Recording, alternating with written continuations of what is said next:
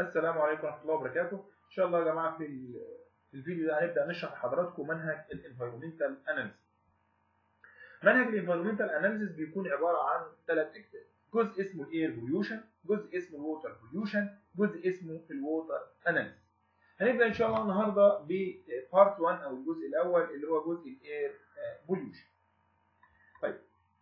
على بركة الله. في ال air pollution أو تلوث الهواء هنبدأ نشرح ال atmosphere ومكونات ال atmosphere والطبقات بتاعته وإيه وأهم التفاعلات التي تحدث في ال atmosphere. وهنشرح كمان طبقة الأوزون وتركيبها وإزاي بتشتغل وإيه دورها. وهنشرح كمان الغازات الموجودة وتركيزها كام ولو تركيزها زاد إيه اللي هيحصل وهكذا. طيب أول حاجة بنتكلم عنها النهارده اللي هي composition of the atmosphere اللي هو تكوين أو تركيب ال atmosphere. طيب ال atmosphere عندنا رسمة اهي كده بتوضح تكوين ال atmosphere. ال atmosphere هنا الرسمة دي طبعا علاقة رسم بياني ما بين ال temperature in Kelvin وال altitude يعني الارتفاع بالكيلو تمام؟ مقسمة هنا إلى أربع طبقات. أول طبقة هنا اللي هي طبقة التروبوسفير ثاني طبقة اللي هي طبقة الاستراتوسفير ثالث طبقة الميدوسفير آخر طبقة اللي هي اسمها ال thermosphere أو بيسموها ال iono sphere حلو قوي يبقى ده كده تكوين الغلاف الجوي المحيط بكوكب الأرض. وفي رسمة بسيطة كده أهوت برضه نبص عليها كده أهي. أو بالمنظر ده كده تمام؟ فوق مستوى سطح البحر لأن طبعا أنا لما باجي أقيس الارتفاع بقيس من فوق مستوى سطح البحر لأن سطح البحر ثابت لكن سطح اليابسة متغير تمام؟ هتلاقي عندك أهو الطبقات بتاعتنا التروبوسفير الاستراتوسفير الميزوسفير السيرموسفير أو اللي هم بيسموها ال iono إيه؟ ال iono آه sphere طيب حلو قوي يبقى هنا هو آدي الغلاف الجوي اللي هو بيبقى محيط بالارض وآدي أشعة الايه الشمس. طيب الشمس طبعا لما بيجي منها أشعة تمام؟ أشعة الشمس بيكون فيها أطوال موجية مختلفة تمام؟ يعني أشعة الشمس اللي جاية مش طول موج واحد ده أشعة الشمس بتكون أطوال موجية إيه؟ مختلفة. حتى بنسمي الضوء بتاع الشمس ال white light اللي هو الضوء الأبيض تمام؟ أو بنسموه اسم ثاني بنقول عليه poly أهو بنقول عليه polychromatic إيه؟ polychromatic light أو بنسموه broad spectrum طب يعني إيه polychromatic light أو يعني إيه كلمة broad spectrum معناها إن هو ضوء ذات اطوال موجية متعددة. ماشي؟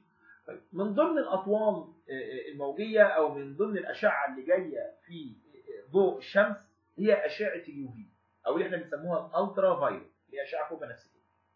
أشعة الفوق بنفسجية أو ال ultraviolet أو ال UV تمام هي بتتميز إن هي أشعة ذات طاقة عاليه تمام؟ طيب حلو قوي. الأشعة دي لما بتنزل تمام؟ أول حاجة طبعا فيها خلي بالك لو انت ركزت بتخبط في طبقة مين؟ ها في طبقة ال thermosphere يبقى أول طبقة هنا تمام بيخبط فيها أشعة الشمس طبقة ال thermosphere أو اللي إحنا بنسموها ايونوسفير لما أشعة الشمس بتنزل ومعاها أشعة ال UV أشعة ال UV بتتسبب في حدوث حاجة اسمها photochemical reaction حاجة اسمها photochemical إيه؟ reaction يعني تفاعلات كيميائية ضوئية الكلام ده كله مكتوب. ماشي في الورق. طيب حاجة اسمها photochemical إيه؟ reaction طيب لما يحدث photochemical reaction التفاعلات دي بتحدث مرة واحدة لا ده بتحدث يوميا باستمرار. طب لما التفاعلات دي تحدث كده هيبقى تكوين ال atmosphere بتاعنا ثابت ولا متغير؟ لا متغير. يبقى اذا يا جماعة من الحاجات الأساسية اللي بتخلي تكوين ال atmosphere بتاعنا متغير هو إيه؟ هي التفاعلات التي تحدث فيه ماشي كده يا إخوانا؟ طيب حلو قوي يبقى ال atmosphere بتاعنا ده نظام ثابت ولا معقد؟ لا ده نظام متغير يعني نظامه إيه؟ معقد. طيب. ليه بيسموا الطبقه اللي فوق ده أهي بيسموها طبقة ال thermosphere أو بيسموها طبقة الأيونوسفير.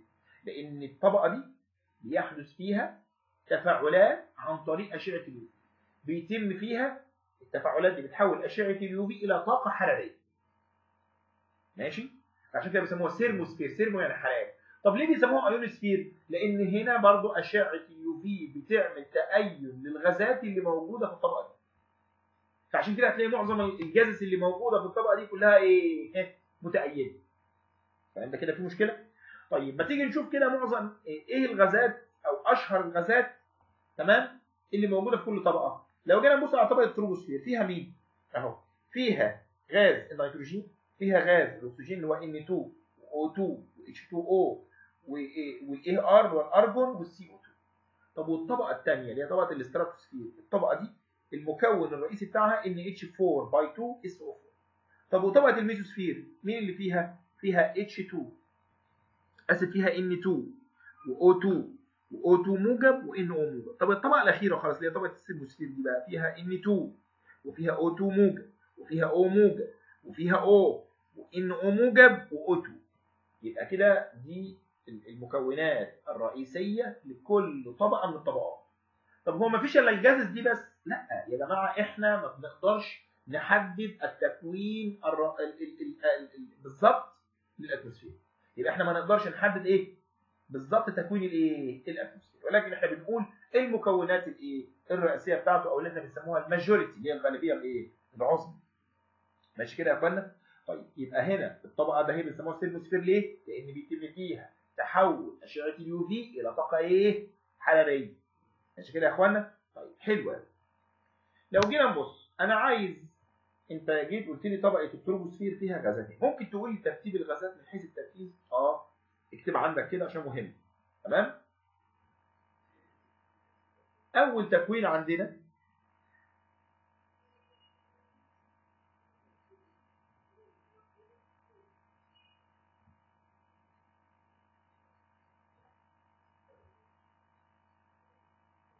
ماشي؟ يبقى هنا تعالى قول لي كده ترتيب الغازات في طبقه التروبوسفير أعلاهم تركيزا هو ال N2 بعده ال O2 بعده ال CO2 بعدهم other gases وال vapor يبقى بعد كده في حاجة اسمها إيه؟ other gases and vapor. طب مين ال vapor vapor من H2O ومن ال metal ومن ال mercury اللي هو الزئبق. مش كده يا اخوانا يبقى ده الترتيب بتاع الحاجات اللي موجودة في طبقة الايه؟ ال tropo وايه التروبوسفير طيب تعال نقرأ كده الكلام المكتوب. بيقول لك the atmosphere is an extremely complex system. يعني ال atmosphere ده عبارة عن نظام معقد جدا. Its temperature and pressure درجة الحرارة والضغط بتاعها. change بتتغير over a wide range with يعني إيه over a wide range with يعني درجة الحرارة والضغط بيتغيروا بنسب كثيره جدا مع الارتفاع يعني كل ما ترتفع هتلاقي إن درجة الحرارة والضغط يتغيروا بتغير كبير أو بنسب كبيرة. بعد كده subjected to يعني إيه subjected to يعني يتعرض ليه؟ اللي هو مين؟ اللي هو ال atmosphere bombardment يعني قذف. يعني يقذف. by radiation أشعة. الأشعة اللي هي الضوء. and energetic particles يعني جزيئات ذات طاقة عالية. from the sun من الشمس. and cosmic radiation الأشعة الكونية اللي هي جاية منين دي من ال outer space يبقى كده يا جماعة ال atmosphere بتاعنا بينزل عليه أشعة الشمس وبينزل عليه حاجة اسمها energetic particles وبينزل عليه cosmic radiation اللي جاية من ال outer space طب الحاجات دي بتعمل إيه كلها لما تنزل على الغلاف الجوي قال لك this may cause الكلام ده بيسبب chemical effect يعني إيه chemical effect؟ يعني تأثيرات كيميائية، يعني إيه تأثيرات كيميائية؟ يعني تفاعلات كيميائية. specially خاصة on the layer of the atmosphere، خصوصا في طبقات الايه؟ ال atmosphere، يعني عايز يقول لك الحاجات دي لما بتنزل على الغلاف الجوي بتعمل فيه تفاعلات. طب هو لما يحصل تفاعلات باستمرار يا جماعة يبقى التركيب هيفضل ثابت ولا متغير؟ متغير. عشان كده قلنا دايما إن التركيب بتاع ال atmosphere متغير مش ثابت. طيب وبعدين قال لك ال earth gravitational field اللي هو مجال الجاذبية الأرضية could يسبب some separation بعض الفصل of atoms and molecule للذرات والجزيئات according to mass طبقا يعني إيه؟ يعني جاذبية الأرض الحاجات الثقيله تشدها لتحت والخفيفة تطلع لإيه؟ لفوق فتفصل الخفيف عن الإيه؟ عن الثقيل يعني عايز يقول لك إن في تفاعلات كيميائية بتحدث التفاعلات دي بينتج عنها جزيئات وذرات جديدة الثقيل ينزل لتحت والخفيف يطلع؟ لفوق بقول لك lighter يعني الخفيف atoms lighter atoms and molecules يعني الذرات والجزيئات الخفيفة rise يعني ترتفع to the top لفوق. So composition of the atmosphere ولذلك ال composition بتاع ال atmosphere is not constant مش ثابت near ال earth surface بالقرب من سطح الايه؟ الأرض. مش كده يا إخوانا؟ طيب يبقى الخلاصه لو جه هنا قال لك give reason for اديني السبب ليه ال composition بتاع ال atmosphere is not constant؟ هتقول والله لأن في حاجات بتنزل على الغلاف الجوي زي ال radiation وال energetic particles وال cosmic radiation الحاجات دي بتعمل chemical effect وكمان مجال الجاذبية الأرضية بعد كده بيبدأ يفصل الخفيف عن الإيه؟ عن التقيل فطبيعي جدا إن ال atmosphere بتاعنا مش إيه؟ مش ثابت بل متغير. طيب the composition of the atmosphere near ال earth surface عايز أبدأ أعرف تركيب ال atmosphere بالقرب من سطح الأرض. طيب بالقرب من سطح الأرض يعني فين يعني؟ قال لك through 10 كيلو متر يعني خلال ال 10 كيلو متر الاولانيين طب ال 10 كيلو متر الاولانيين اللي هي يعتبر طبقة مين؟ التروبوسفير أو على رسم طبقه التروبوسفير من 0 إلى 10 تقريبا يعني تمام؟ يبقى خلال ال 10 كيلو متر الاولانيين المقصود بيه طبقة مين؟ التروبوسفير. قال لك طبقة التروبوسفير بتتكون من اثنين مكون رئيسي، أول حاجة اللي هو ال diatomic اللي هي الجزيئات ثنائية الذرة. زي مين؟ زي النيتروجين وزي الأكسجين. قال لك الجماعة دول الاثنين make up about 99% بيكونوا ها 99% من طبقه التروبوسفير يعني معظم طبقه التروبوسفير من النيتروجين والأكسجين. طيب وإيه كمان؟ وقال لك trace يعني كمية قليلة جدا من ال CO2 ومن ال nitrous oxide ومن الميثان ومن ال inert gases زي الأرجون زي الهيليوم زي الكريبتون وزي الايه يبقى ده تكوين ال 10 كيلو متر الأولانيين من الغلاف الجوي اللي هي طبقة مين؟ طبقة التروبو اسفير تمام؟ طيب يبقى إحنا كده خدنا فكرة عامة كده عن الغلاف الجوي والطبقات إيه؟ والطبقات آه بتاعته. وليه طبقة ال thermosphere بسميها بالاسم ده؟ خدنا الكلام ده إيه؟ كله. تعال نبدأ بعد كده نروح لحاجة مهمة جدا وهي ال reaction occurring in atmosphere يعني التفاعلات التي تحدث في الغلاف الجوي طيب نفتكر تاني بالراحه واحدة واحدة كده. مين السبب الرئيسي اللي بيخلي في تفاعلات تحدث بين الغازات وبعضها في الغلاف الجوي؟ هي أشعة مين إليو.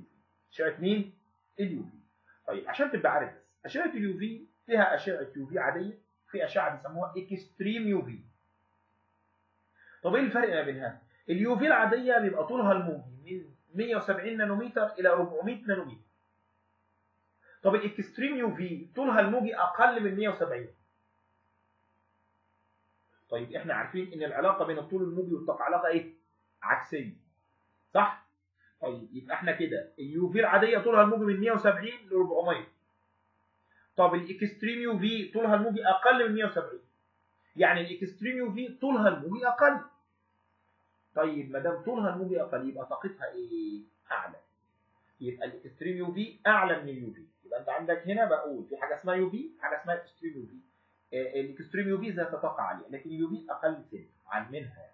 بس ال UV كلها بصفة عامة إحنا بنقول عليها ان هي اشعه طاقتها عاليه ماشي كده يا اخوانا حلو قوي قبل ما نبدأ قبل ما نبدأ ونشرح التفاعلات التي تحدث في ال atmosphere محتاج بس أوضح لحضراتكم حاجة. إحنا هنا قلنا ادي الأرض بتاعتنا أو البحر تمام؟ وفي هنا الشمس.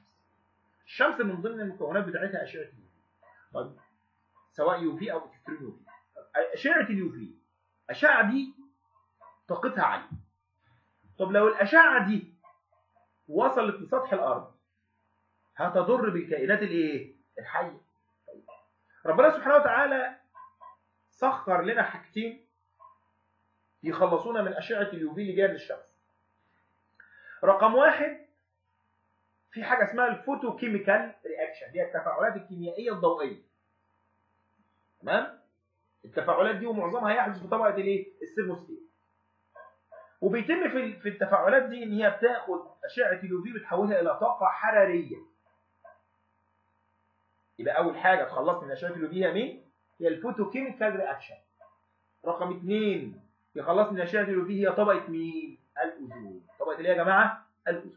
يبقى أنا كده عندي حاجتين أساسيين بيخلصوني من أشعة الإيه؟ ال UV الضارة. لانها طبعا لو نزلت على سطح الكوكب. طب تعالى بقى نشوف reaction occurring in ال atmosphere التفاعلات اللي بتحدث في ال atmosphere.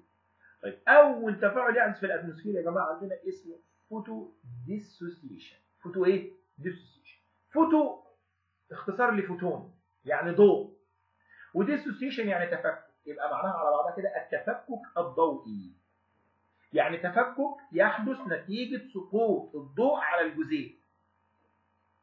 ماشي كده يا إخوانا؟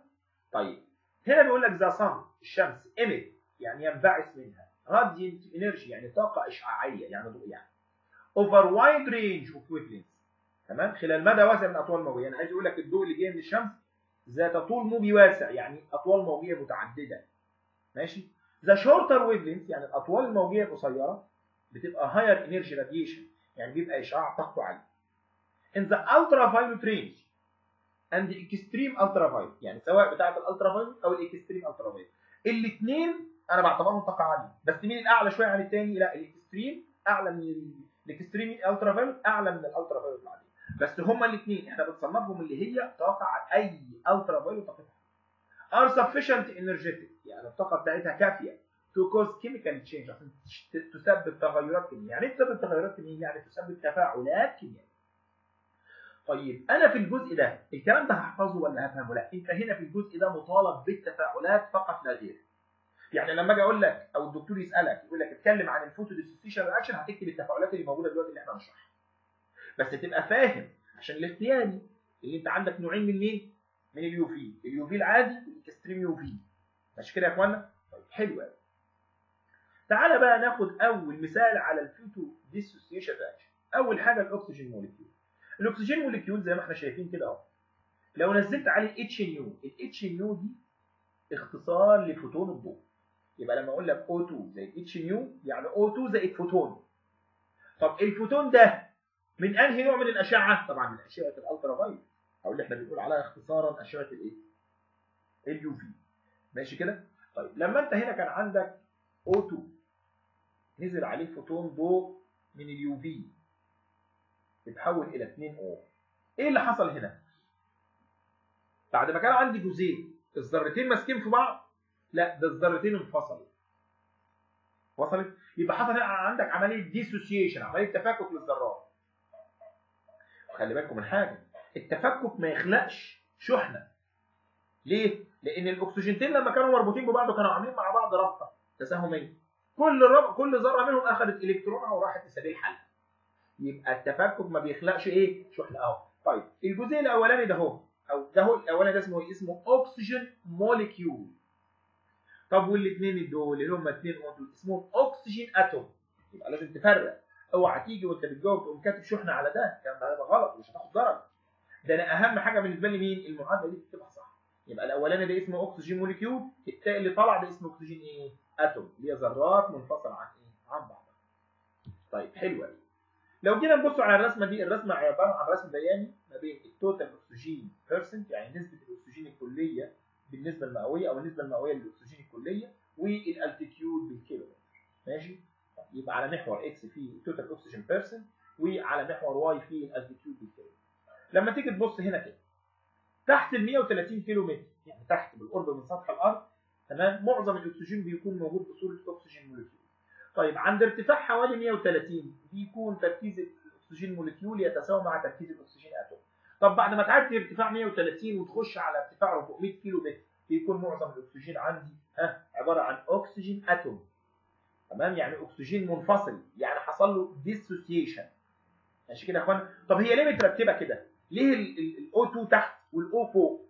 لأن ال O2 تقيل فالجاذبية بتشد لتحت لكن ال O بس خفيفة فبتطلع لفوق.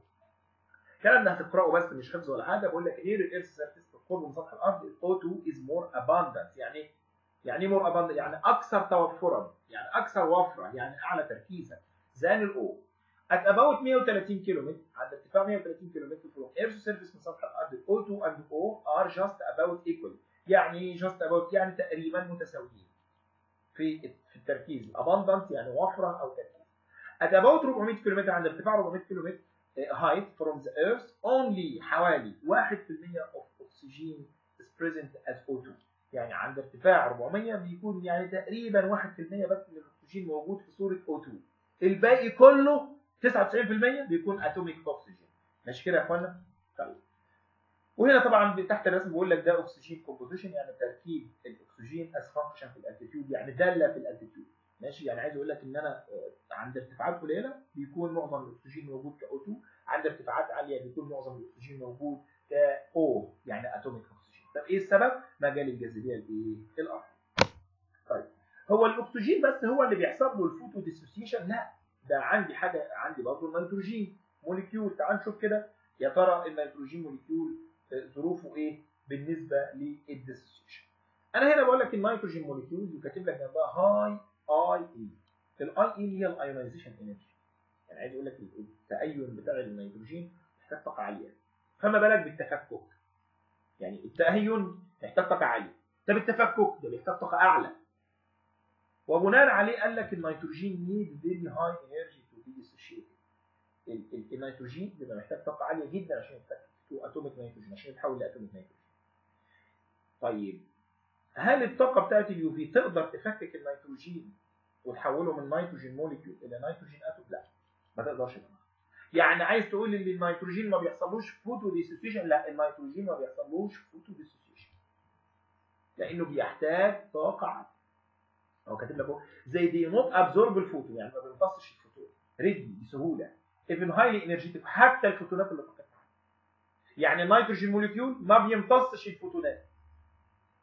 طب هو لو ما امتصش الفوتونات يبقى كده مش هيحصل له تفكك لأن عشان الجزيء يحصل له تفكك لازم يمتص الفوتون. بحيث طاقته تعلى فالذرات تتفكك عن بعض. طيب. So very little atomic nitrogen is present in upper atmosphere. ولذلك نسبة ال atomic nitrogen اللي موجودة في الأت... في, ال... في ال upper atmosphere يعني في الغلاف الجوي طبقات الجو العليا اللي هي العالية بيكون قليل. يبقى لو جه الامتحان قال لك اديني السبب ليه ال atomic nitrogen بيكون نسبته قليلة؟ معظم النيتروجين بيكون موجود في صورة nitrogen molecule يعني في صورة N2 تقول له لأن ال ال ال النيتروجين بيحتاج لطاقة تفكك عالية جدا. ماشي كده يا اخوانا تمام. فعشان كده النيتروجين بيفضل زي ما هو ما بيحصلوش إيه؟ ما بيحصلوش dissociation طيب في كمان حاجة هي ثالثه ممكن يحصل لها dissociation تمام؟ ال water molecule أهو H2O زائد h nu اداك HO زائد H. رجع ال HO اللي طلع. زائد كمان h nu اداك H زائد O. يبقى المية في النهاية بتتفكك إلى هيدروجين واكسجين ماشي كده يا إخوان؟ يبقى أنت كده اديتك ثلاث أمثلة. الأكسجين والنيتروجين والمية. طب اللي بيحصل لهم تفكك مين بس؟ هم الاكسجين الأكسجين ومين؟ والمية. لكن النيتروجين ما بيحصلوش photo dissociation ماشي كده يا إخوانا؟ أقول لك ال atomic oxygen formed in this reaction يعني ال atomic oxygen اللي هيطلع في الآخر ده أهو is diffuses يعني بينتشر to lower elevation. يعني الارتفاع قليل ما بيطلعش لفوق قوي while hydrogen diffuses to higher elevation. طب ليه؟ الهيدروجين بيطلع لفوق قوي لكن الأكسجين يعني بيرتفع حاجة بسيطة ويقف. ليه؟ لأن أنت لو جيت تقارن ما بين كتلة الهيدروجين وكتلة الأكسجين مين اللي كتلته اعلى؟ الهيدروجين؟ فعشان كده بيرتفع لفوق قوي. هما الاثنين بيرتفعوا بس الهيدروجين بيرتفع. the formed atomic oxygen يعني يعني الأكسجين الذري اللي هو تكون اللي هو ده ال O اللي undergo chemical بيخش في تفاعلات كيميائية to form O2 and NO and so وهكذا. ماشي؟ يعني عايز أقول لك الأكسجين اللي طلع ده ما فضلش زي ما هو لا ده بيروح يخش في لأنه يبقى active يبقى إيه؟ نشيط شوية. يبقى إحنا كده خدنا أول نوع من التفاعلات يا جماعة اللي هو تفاعلات ال photo dissociation نروح للنوع الثاني وهي تفاعلات ال photo ionization process أو ال photo ionization reaction اللي هي تفاعلات التأين الضوئي. طب إيه اللي بيحصل فيها؟ إن الضوء بينزل على الجزيئات يعمل لها تأين. بيعمل لها تأين إزاي؟ عن طريق إن هو بيطلع إلكترون من المستوى الخارجي. بيطلع منها إلكترون. مش كده يا إخوانا؟ أهو the photon energy طاقة الفوتون must be high لازم تكون عالية. enough to cause ionization عشان تسبب تأين لل outer electron ال outer electron. هي الكترونات المدار الاخير اللي هي الكترونات التكافؤ ماشي؟ طيب حلو قوي أدي هنا أمثلة قدامنا. N2 زائد hν إداك N2 موجب زائد إلكترون في إلكترون طلع فبالتالي ال N2 شال شحنه موجبه طب O2 زائد hν اداك O2 موجب زائد إيه؟ زائد إلكترون وهكذا ونمشي كل دي أمثلة على مين؟ على ال photo ionization reaction يبقى خلي بالك النيتروجين حصل له ionization بس ما حصلوش dissociation يبقى بناء عليه مين اللي بيحتاج طاقة عالية؟ التفكك ولا التأين؟ لا التفكك. لأن النيتروجين حصل له تأين قدامنا أهو لكن ما حصلوش إيه؟ تفكك. مش كده يا اخوانا طيب ال IP اللي هي ال ionization potential ال IP IP اختصار ال ionization potential يعني كمية الطاقة اللازمه لحدوث ال ionization في حالة النيتروجين 1495 تمام؟ وفي حالة الأكسجين ال O2 كام؟ 1205 في حالة الأكسجين atom لما تيجي تعمله تأين أهو يبقى 1313 في حالة ال NO ها؟ 890 طب الأرقام دي حفظ؟ لا بس أنا عايزك تحفظهم لي بالترتيب. مين اللي بيحتاج ionization potential أو ionization energy أعلى ومين اللي بيحتاج ionization potential أو ionization energy أقل؟ أهو بص كده لو تلاحظ ها؟ الضوء المستخدم لتأين النيتروجين طول الموجي 80 لكن الضوء المستخدم لتأين الإن أو كان كام؟ 134 يبقى مين اللي طاقته أعلى؟ اللي هو عنده طول موجي أقل. طب مين اللي بيحتاج طول موجي أقل؟ النيتروجين طول الموجي 80 يبقى بياخد طاقة عالية. وإذا كان طول الموجي قليل يبقى الطاقة إيه؟ عالية. يبقى كل عايزك تحفظه الأرقام الأرقام دي مش حفظ ولا حاجة بس تحفظهم بالترتيب. يبقى النيتروجين أكبر من O2 أكبر من O أكبر من NO مش كده يا إخوانا؟ يبقى أسهلهم في حدوث ال ionization reaction هو ال NO ماشي كده يا إخوانا؟ طيب لو في الامتحان تمام؟ وقال لك هو ليه ال NO موجب؟ يكون تركيزه عالي. تقول له لأن الطاقة اللازمة ماشي؟ لتأين ال NO وتحويله إلى NO موجب بيكون طاقة إيه؟ مش كده يا إخوانا؟ طيب نكمل. Some important ionization processes occurring above 90 كيلومتر بعد تفاعلات التأين المهمة اللي بتحدث فوق 90 كيلومتر طب لما تحدث فوق 90 كيلومتر تبقى في طبقة إيه؟ بص كده. فوق 90 كيلومتر أهو. يعني 90 يبقى في طبقة السيرفوسفير مش كده يا جماعة؟ يبقى تفاعلات التأين دي في طبقة مين؟ الثيرموسفير ماشي؟ طيب حلو قوي آه these wavelengths short يعني أطوال الموجيه اللي بتستخدمها دي بتبقى أطوال موجيه قصيره طيب الأطوال الموجيه اللي قدامنا دي كلها يا جماعة كلها شغالة في منطقة مين؟ منطقة ال UV وال extreme ماشي؟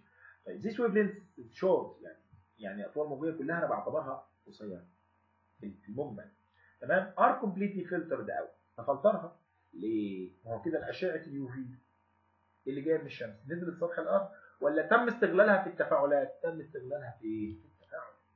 تمام؟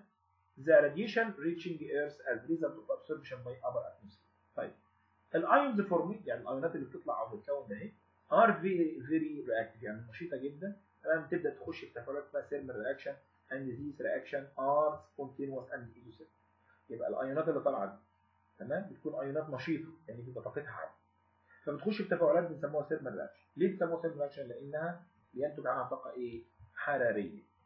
والتفاعلات دي بتكون spontaneous يعني تلقائية وكمان exothermic يعني طارده لمين؟ للحراره طب ليه التفاعلات دي؟ قال لك dissociative recombination charge transfer و atom إيه transfer دول الثلاث أنواع من التفاعلات اللي بتعملهم الأيونات اللي طالعة نتيجة حدوث photo ionization بس في المجمل هنا الأيون دي بتمتص أشعة ال UV يتحول لأيون.